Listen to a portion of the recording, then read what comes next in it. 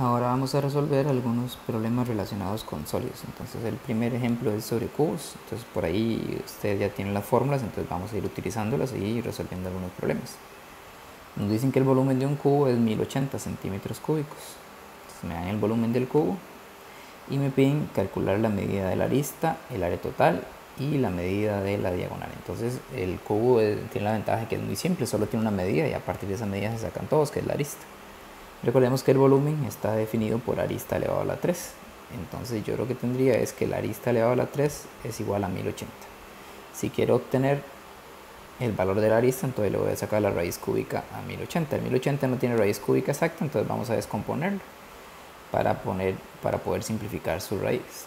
1080 tiene mitad, que es 540, que tiene mitad, que es 270, que tiene mitad, que es 135 y el 135 tiene tercera, que es 45,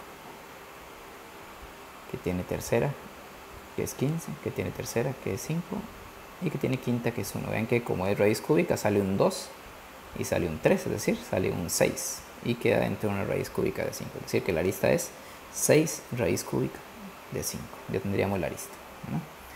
Ahora calculemos el área total. Recordemos que el área en el cubo es 6 eh, por arista a la 2, es decir, sería 6 por la arista que es 6 raíz cúbica de 5 elevado a la 2. Entonces elevando aquí, me daría 6 por 6 a la 2 que es 36 y 5 a la 2 que es 25, 36 raíz cúbica de 25. Entonces me queda 6 por 36 que son 216. 216 la raíz cúbica de 25. Como es área estaría en centímetros cuadrados.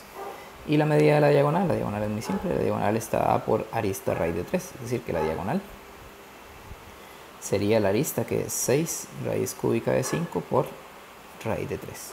Ahí está. Si queremos obtener un valor aproximado, puedo meter una calculadora y nos daría un valor aproximado de esos igual que del área.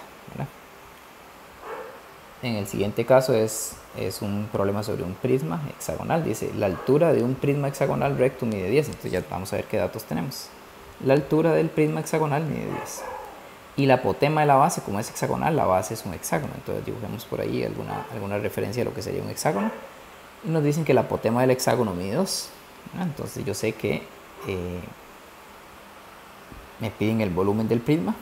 El volumen del prisma, recordemos que está dado por el área de la base multiplicado por la altura. Ya tengo la altura, me faltaría el área de la base. Pero recuerden que en, en un hexágono, el área, el área del hexágono está dado por 3 L cuadrado raíz de 3 dividido entre 2, es decir, ocupo el lado para conocerlo. Pero yo conozco la apotema, me dieron la apotema de la base que mide 2. Y recordemos que en el hexágono la apotema mm, mide L medios raíz de 3.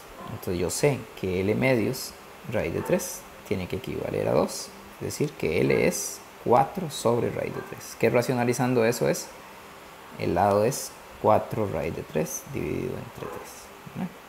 Entonces, el área de la base, que, es 3L cuadrado raíz de 3 dividido entre 2, sería 3 por 4 tercios raíz de 3 elevado a la 2 por raíz de 3 y dividido entre 2. Entonces eso sería, vamos a ver qué nos daría eso. Lo puedo meter en la calculadora, no hay ningún problema. 3 por... Eh, por 4 tercios, raíz de 3 elevado a la 2 sería 16 y dividido entre 2, eso daría 8. Eso que está ahí nos daría 8 raíz de 3.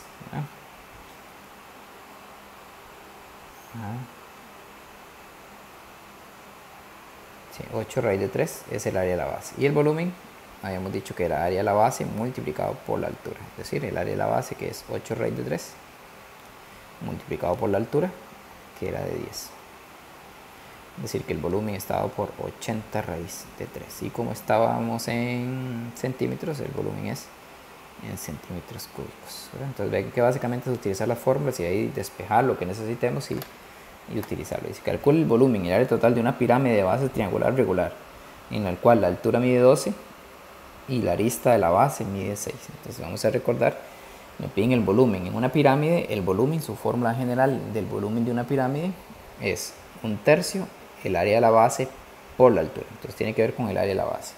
Y el área, y el área, eh, el área total va a estar formado por dos por dos partes. El área de la base, que en este caso, el área de la base tenemos que calcularla, es un triángulo regular. Entonces el área de la base es L cuadrado raíz de 3 dividido entre 4, que es el área del triángulo, del triángulo regular, que es un triángulo equilátero.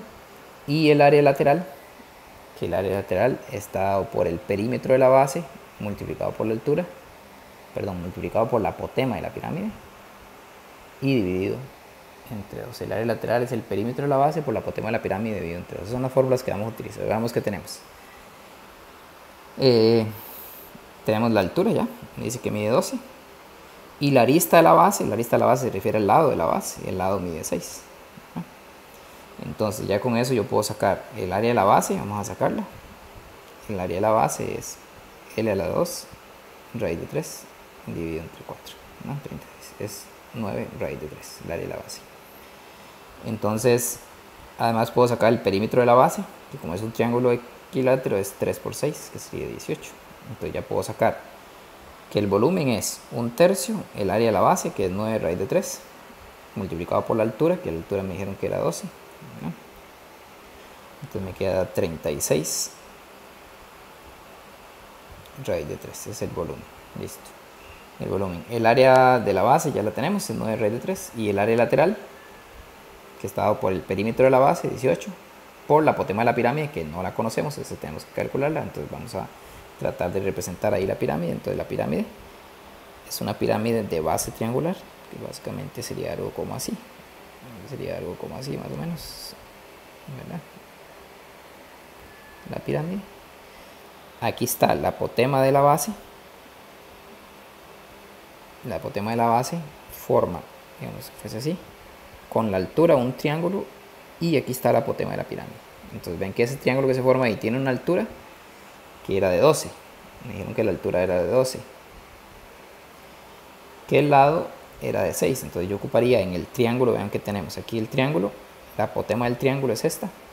Y recordemos que la apotema, la apotema del triángulo era L sextos raíz de 3.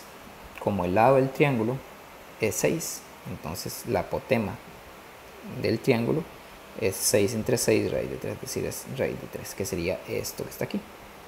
Y con eso sacamos la apotema de la pirámide, que es lo que vemos con Pitágoras. Recordemos que según Pitágoras tendríamos que la apotema de la pirámide elevado a la 2 es igual a 12 a la 2 más raíz de 3 elevado a la 2. Es decir, la apotema de la pirámide elevado a la 2 es 144 más 3. Es decir, que la apotema de la pirámide es raíz de 147. Pero que la raíz de 147 no se puede simplificar más. La raíz de 147 queda, no si se puede simplificar, eso daría 7 raíz de 3. Esa es la apotema de la pirámide. Ahora sí. Entonces, el área lateral, que era lo que nos faltaba, es el perímetro, está por el perímetro de la base, que era 18, por la apotema de la pirámide, que es 7 raíz de 3, y todo eso dividido entre 2. Eso nos daría 63 raíz de 3. Entonces el área total es el área de la base, que es 9 raíz de 3, más 63 raíz de 3, que eso daría 62 raíz de 3. Entonces ya tenemos el volumen y el área total. Veamos el siguiente. El área total de un cilindro es 1176 pi. Entonces recordemos que en el cilindro, vamos a ver, en el cilindro tenemos el área basal, que es 2 pi por r a la 2, el área lateral, que es 2 pi por r por h.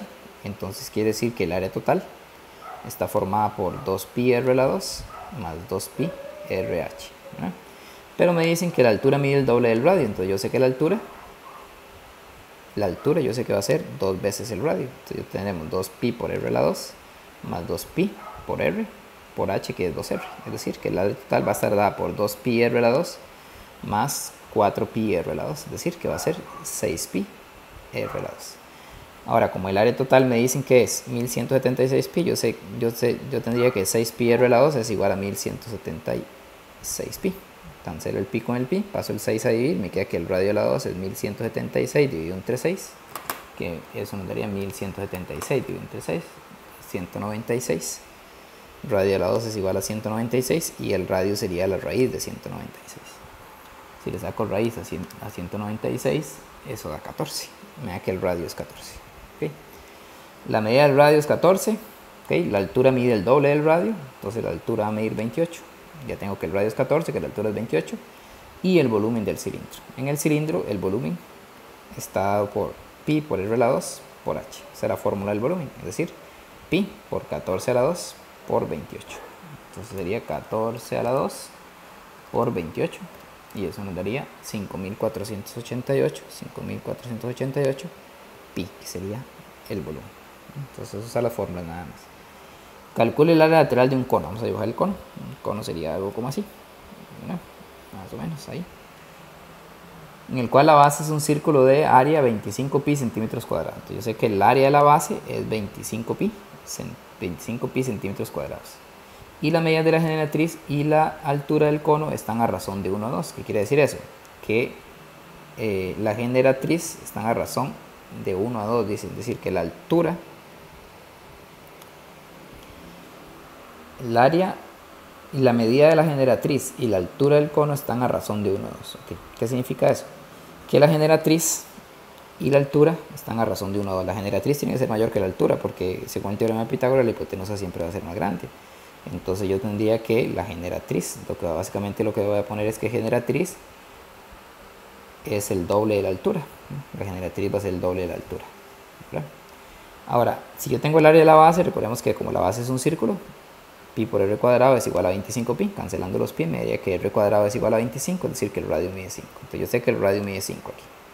Entonces ven que ese triángulo que tengo ahí básicamente se forma con aquí 5, aquí h y aquí 2h.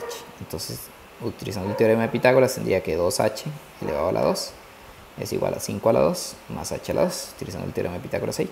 Es decir, que 4h cuadrado es igual a 25 más h cuadrado. Pasando el, me daría 3h cuadrado es igual a 25, h cuadrado es igual a 25 tercios. Es decir, que h es la raíz de 25 tercios, que eso simplificado es 5 sobre raíz de 3, que es lo mismo que 5 raíz de 3 entre 3, esa es la altura. Y si yo sé que la altura es 5 raíz de 3 entre 3, la generatriz es el doble, es 10 raíz de 3 entre 3. Porque me decían que estaba a razón de 1 a 2, es decir, que una es el doble de la otra. Y me piden que calcule el área lateral del cono. En el cono, el área lateral, la fórmula es pi por r por g. Es decir, es pi por el radio que era 5 por la generatriz que es 10 raíz de 3 dividido entre 3. Es decir, eso da 50 pi raíz de 3 dividido entre 3, que sería el área lateral. Entonces ahí utilizamos las fórmulas. Siguiente. El volumen de una esfera es 288 pi. Entonces el volumen de la esfera tiene una fórmula que es 4 tercios pi por r a la 3. Es 4 tercios pi por r a la 3. Entonces yo voy a utilizar esa fórmula para determinar el radio. Es igual a 288 pi. Cancelamos el pi. Me queda que r a la 3 es igual a 288 por 3 y dividido entre 4 me queda 288 dividido entre 4 multiplicado por 3 me queda que el radio a la 3 es 216 es decir que el radio es la raíz cúbica de 216 la raíz cúbica de 216 da 6 entonces el radio es 6 listo ya tengo el radio una vez que tengo el radio el diámetro, bueno el diámetro, me preguntan el diámetro, el diámetro es el doble del radio, si el radio era 6, entonces el diámetro es de 12. Y el área de la esfera, pero el área de la esfera está dada por 4pi por r a la 2. Es decir, es 4pi por 6 a la 2. Eso da 36 por 4, que sería 144. Eso da 144 pi, que sería el área de la esfera. Entonces ven que es básicamente ir utilizando las fórmulas para despejar. El área de una esfera es 100 pi, entonces bueno, usemos eso primero. El área de una esfera es 100 pi. Yo sé que el área de la esfera es 4 pi por r a la 2, es igual a 100 pi. Cancelamos el pi. r a la 2 es igual a 100 entre 4. r a la 2 es igual a 25. Sacando la raíz de 25 me daría que el radio es 5. Listo. Si esa esfera está inscrita en un cubo, ¿qué quiere decir eso? Que tenemos la esfera ahí y la esfera está dentro de un cubo. Es decir, que hay un cubo ahí que contiene la esfera. Cuando está inscrito significa que queda justo ahí. Queda justo, eso es lo que significa, queda justo en la esfera. Entonces, vamos a ver, devolvámonos. Entonces yo tendría ahí, está la esfera inscrita en un cubo, ahí más o menos, ahí lo tratamos de representar. La esfera está inscrita en el cubo y sería más o menos así. Pero vean que básicamente nosotros podemos obtener que el radio de la esfera es 5, su diámetro es 10. Eso sería la misma que la arista del cubo. La arista sería 10. me piden el volumen de dicho cubo. Recuerden que el volumen estaba por arista a la 3. Entonces el volumen sería 10 a la 3, que es igual a, a 1000. Entonces siempre traten de hacer una representación ahí para que se ayuden. Veamos el siguiente. En la siguiente figura el cono está inscrito en el cilindro de altura y diámetro 10. Entonces dice que eh, tiene la altura es 10 y su diámetro es 10. Pero entonces si su diámetro es 10, su radio es 5. Digamos ahí. Y su altura aquí sería 10 también. Aquí sería 10. Determine el volumen entre el cono y el cilindro. Si yo quiero calcular el volumen que queda entre el cono y el cilindro, voy a calcular el volumen del cilindro. El volumen del cilindro. Que el volumen del cilindro está dado por pi por r la 2 por altura. Ya eso lo tenemos. Y el volumen del cono. Que el volumen del cono es un tercio pi por r a la 2 por h. El volumen del cono es un tercio pi por r a la 2 por h. Ya tenemos todos los datos. Entonces simplemente voy a decir que el volumen del cilindro es pi por 5 a la 2 por 10. Es decir, es 250 pi. Y el volumen del cono, volumen del cono es un tercio pi por 5 a la 2 por 10. Es decir, es 250 dividido entre 3, me daría 250. 5 a la 2, 25 por 10, 250 pi tercios. El volumen que queda comprendido entre los dos va a estar dado por la resta del cono, del cilindro menos el cono. El cilindro menos el cono. Y eso nos daría exactamente menos, perdón, nos daría 500 pi dividido entre 3. Eso sería eso sería la aproximación. Si ustedes quieren saber la aproximación de esto, nada más lo meten así en la calculadora. Lo meten así en la calculadora y eso les da la aproximación, que sería aproximadamente 523,59. Después, porque a veces lo preguntan en aproximación. Entonces, ¿cómo, ¿qué fue lo que dice aquí?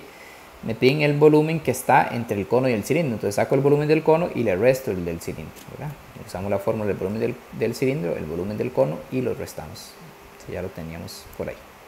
Veamos el siguiente. En la figura la base del prisma es un cuadrado de 25. Entonces me dicen que aquí que la base eh, del prisma, esta que es la base, es un cuadrado de 25. El área del cuadrado es la 2. Entonces el lado a la 2 es igual a 25. Es decir, que el lado mide 5. Esto aquí mide 5, esto aquí mide 5, esto aquí mide 5 y esto aquí mide 5. Ven que ese 5 además representa el radio de la esfera. Si nosotros nos ponemos a ver, como desde esta dirección, la vista que tendríamos de esta dirección sería el cuadrado que está allá abajo y la esfera va a quedar ahí.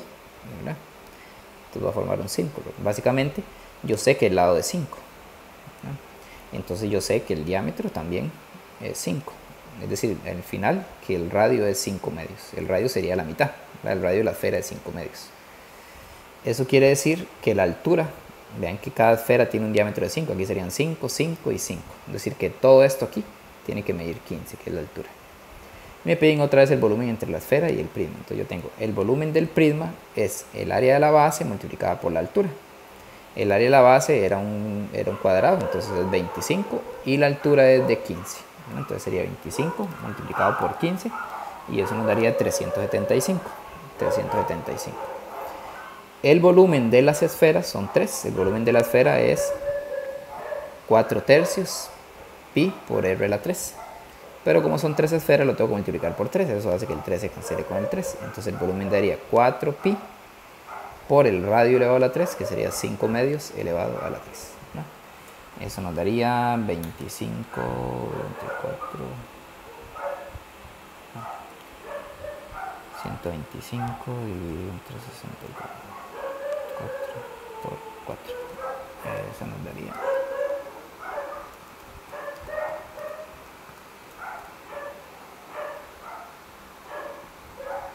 125 sobre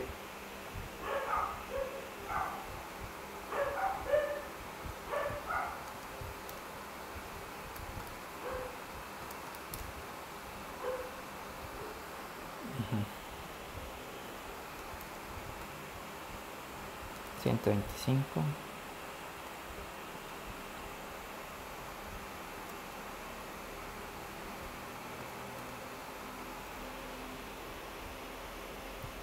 nos diría que el volumen es 250 pi el volumen de las tres esferas.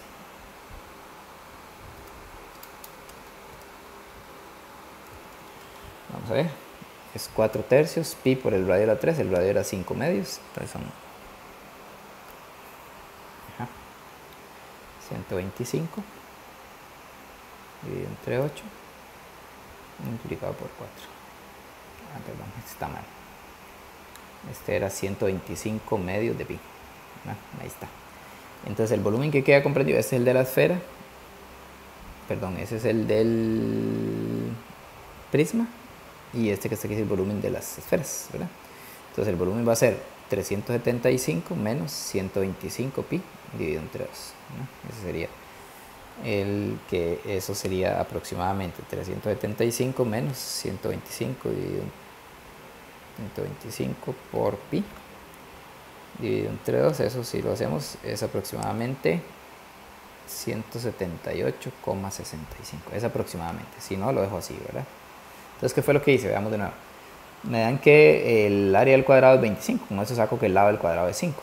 Si el lado del cuadrado es 5, quiere decir que el día aquí mide 5, 5 y 5. Mide 15 la altura del, prisma. Y el volumen, el radio mide 5 medios. Si yo saco el volumen del prisma, que es el área de la base por la altura, sería 25 por 15, 375. Y el volumen de la esfera es 4 tercios pi por r a la 3, pero son 3 esferas. Entonces 4 pi por r a la 3. Eso daría 125 medios. Y luego el resto los dos. Y yo obtengo el volumen que está comprendido entre los dos.